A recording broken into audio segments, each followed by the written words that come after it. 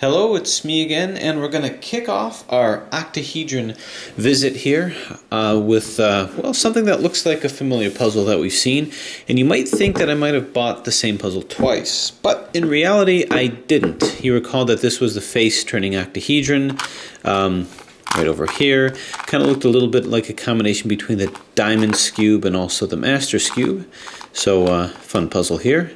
But then there's this guy. And if we have a face-turning octahedron, we also have a corner-turning octahedron. So that is the other variation of this. So I thought I would kick off octahedron um, tutorials with this guy.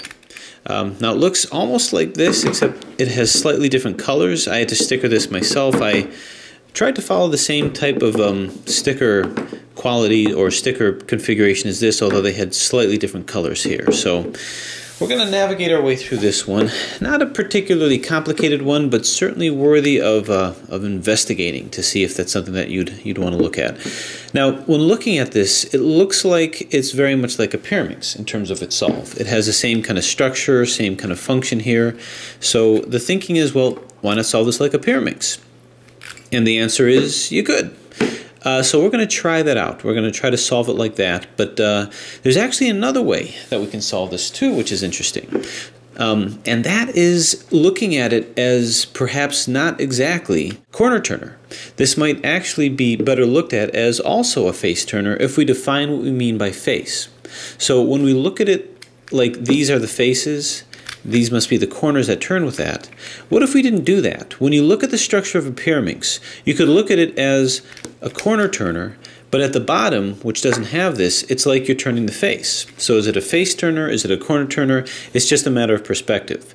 But if we extend that perspective and say that, well, maybe it is like a face, but it has an extra layer, that would mean that maybe this is a face of uh, one layer, this is the face of another layer, a middle layer, and this is the third face. In other words, we can maybe look at it just like a 3 by 3 modification, applying exactly the same rules by saying that um, that this is one face that has a center. This is kind of vestigial. Eh, it doesn't really participate in the scramble too much. Um, but maybe these over here are like extended centers beyond this, and these are edges.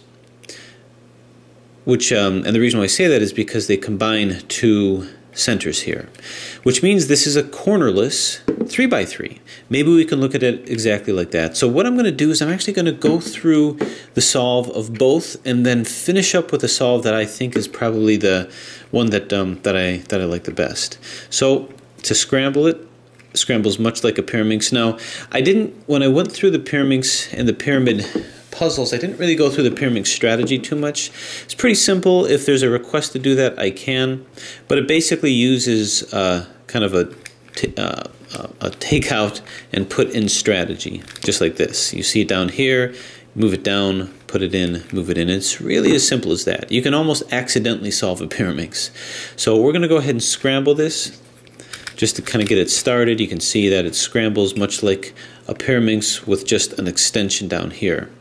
And actually, when you look at it, the reason why I can look at it as a 3 by 3 is that if you take the Pyraminx and stretch out the bottom, you pretty much have what appears to be something like a 3 by 3 So we'll go ahead and continue the scramble and see where it takes us. Abracadabra. Okay, so part one of this, let's do this all Pyraminx style. Uh, first step is I'm going to put these guys in. Again, it's vestigial in nature. It's like it, it's like the appendix. Didn't quite evolve out of it, but it's kind of fun to kind of get you in the mood to solve it.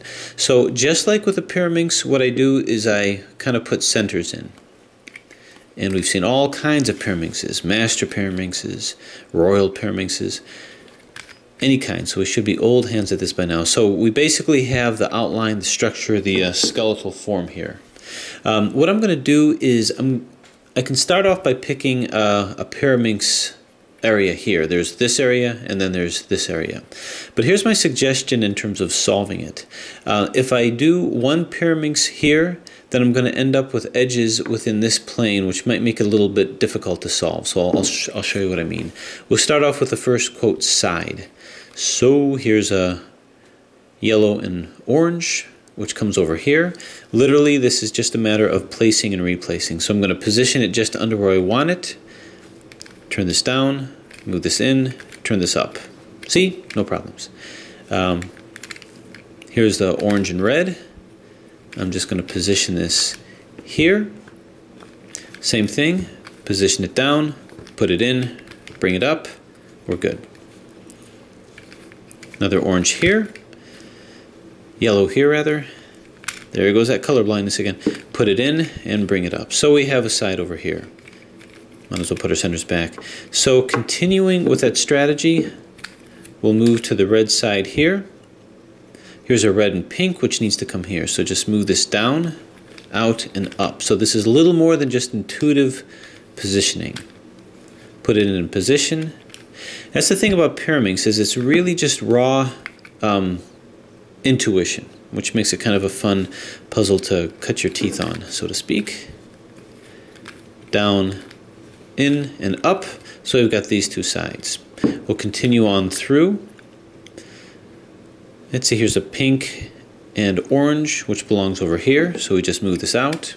Now, because of all these other extra layers, unlike a Pyraminx, I'm not in too much danger of taking these out as I'm putting my initial Pyraminx in. So move this up. And down, across, up. This has to move in. Also move this back in here. If I end up knocking some out, that's okay. That's easy to put back in. So move this in here. Okay. So in, in, I think we might have knocked one of these out. It really doesn't matter whether it was the orange or the yellow. Let's just do the yellow one here since that's the easiest. So down, across, and up. Okay. Now, here's my recommendation. These are all in, and we're just on the verge of solving this part of the Pyraminx up here. My recommendation is to actually not do it that way, because if you do that, we have these three solved, and we're just going to end up with these corners. And it's going to be uh, kind of challenging, a little more difficult to position and reposition. So what I would recommend if you want to do it Pyraminx style is solve three of the four sides, then move on down here and solve one of the other ones. So why don't we solve this green one, which is just below. So I'm going to do the one just below here. Might be a little easier. I won't be bumping into these guys. So we'll try to move the green one in without knocking this out. So turn, turn, turn, and bring it back. If I did knock uh, the pink one out, which is what I did, I can easily just put that back in. Okay. So actually, we ended up solving the white side, which is okay. So these three are solved, and then we did one just below that. So what we have is we have just these three that need to be cycled in, and they're in a position where we could more easily do that. If they were all in the same plane, that might be a little more difficult. So this needs to come up here. These three just basically need to be cycled. Um, so we can fairly intuitively decide how we're going to do that actually over here, turn this in where this is supposed to be, turn this up here, bring this up, and bring this in, and it's solved. So Pyraminx style, not too very difficult. The next thing that we can do is let's try it Rubik's Cube style. Let's actually do it like a 3x3, and you can see which one you like best. So, scramble it again. Hocus pocus. Okay, phase two, the Rubik's Cube phase. Again, we put these back in. All right, taking the time to do that. And we got it. Okay, so what I'm going to do now is I'm going to treat it like a mod. I'm going to treat it like a 3x3 modification, and I'm going to call this one of my sides. So let's go ahead and put in the first cross. Let's line up all of these other centers. And again, I'm defining this, these collectively as our center. So we'll just kind of line things up. I see my yellows are supposed to be here and here. We got this here And we got this here. Okay, so I'm going to put in my cross, which is over here. And this is put in just like any other uh, edges. So I need the green and red. Green and red is over here. So move this out. Move it down here. Right now there isn't much difference in the content of what we're doing here. So this is in, this one happens to be in. This is not lined up with the center here, so we just have to move this out until we can put it where it's supposed to be. So good, good, red and yellow. Again, we're pretending like this is a side over here. So red and yellow, right over here. Move this into position. Okay. And finally yellow and gray right over here. So again, this is more just placing things intuitively. Put this in conjunction with the proper center and up. So you can see this is our cross. Right over here, here, here, and here. Our cross basically being defined as um, our center with the edges in place to match the centers of the other layers. So right now, if we were to call this up, this is our up layer, up, F, R, L, this is our down layer, and this is our back layer over here. So let's see if this concept of 3x3 actually works. Once you get the cross, I then turn this upside down and do the middle layer, which is this layer over here. This is an edges only layer that we, that we do. And the algorithm is exactly the same. We can line this up now if we want. So let's see, we've got the red and pink. Here's a red and pink. So this is going to be exchanged down to here with the algorithm that's used by a standard 3x3, which I assume you all know. But to go from the left down here, so U, R, UI, RI, U, FI, UI, F. I didn't do anything different than what you do with a normal 3x3, so that's, that's that over there. How about here? Well, this is in, but it's not oriented correctly. Um, let's just knock that out. Bang, zoom. Sorry to move too fast on that one. Um, okay, now this is going to come down, but on the right side. So if this is our F face here, we've got UI um, L, U, L, I, U, F, UI, FI. So that put that in here. And lastly, this one moves in. This is white, not gray. This needs to come in here. So we have a green and white over here. So these guys have to be exchanged. We'll just blast this one out. All right, now that we've done that, we put it where we want it. Right here, so this is gonna move down to here. Turn, turn, turn, turn. It's almost like automatic. And now this one, blue and gray, this is gonna come down to here. From this perspective, this will roll down to here by that same Rubik's Cube algorithm. Okay, so we have this layer in here. Now as you recall, I'm going to solve this exactly like a mod, a modification, like a supercube, without corners and only edges, so let's orient the center correctly. Blue, orange, pink, and white. So now it's a matter of, of permuting our edges here.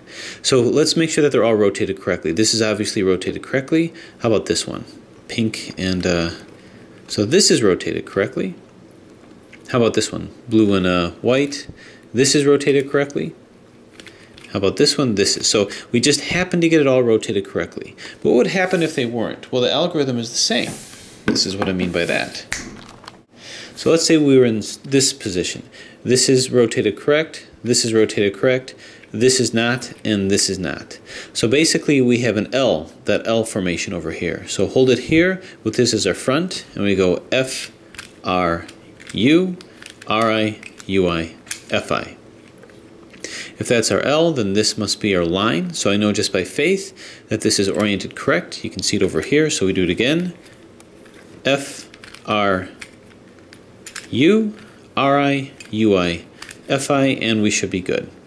What we then do is we then rotate these around. We look for one that's incorrectly, that's placed correctly, not incorrectly, and that's this one. So this becomes our front layer here, and we do our familiar R, U, Ri, U, R2U, Ri, and it's solved, just like a 3x3.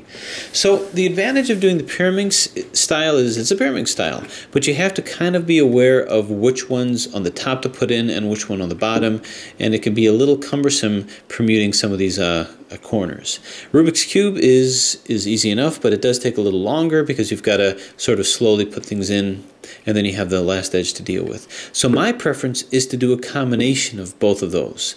And here's what I mean by that. So here's my preferred strategy, which uses a combination pyraminx and a combination 3x3. Bazinga. Okay, I didn't put these out here just for the interest of time, but um, so what I'll, I'll, do is start off pyraminx, and I'm going to get uh, an entire pyraminx side. So where's all my greens here? There's another green here. Bang, bang. Zoom. Just kind of putting in our centers here just for the purposes of orientation, and we're good. So let's put our greens in. And again, this is simple pyraminx style. I hope I'm not throwing people by not getting into details with this. Again, I'm happy to do that. But, well, I think you all know how. So green, here's the other green. Turn, turn, turn. Okay, green, let's go ahead and get the rest of our reds. Red and pink. Turn, turn. Other red. All right. So good, good. Let's get our yellow. Didn't call it orange this time. I am learning. This comes over here. Turn, turn, turn. Bring this up. Okay, now this time I'm going to complete my upper pyraminx of this uh, octahedron. So where's my silver? Here's my silver. Turn, turn, turn. Now once I've done that, I simply shift to Rubik's Cube by putting in the last ledges. So I didn't have to take time doing top layer, cross, middle layer. Um, I do the pyraminx. Now I'm going to immediately switch to using these as the last layer of a 3x3. So now I shift to 3x3 strategy, which is right side up, which is upside down. That's right side up. This is upside down. This is right side up. Okay, so these two are right side up, so this is my L. So holding it here, F R U R I U I F I. I know I've got a line here. I don't even have to check, so do it again. F R U R I U I F I. So they're all in. None of these are oriented where they're supposed to be, so I just pick a random side here and go R U R I U R 2 U R I you're going to find one in, so I'm going to hold it over here and do the algorithm till all these pop in. R, U, R, I, U, R, 2, U, R, I, and you're done. So, simple puzzle, but certainly a worthy collection, even if just to give this guy a little friend. But uh, that kind of helps kick off our, our um, octahedrons. And the fun thing about this is really these become, these are a good way of converting pyraminxes into or pyramids, tetrahedrons, into uh, 3x3 mods, unless they're face turning, in which case you correlate it with other types of puzzles. So, onwards to the next octahedrons, and we'll take it from there. Thanks for watching.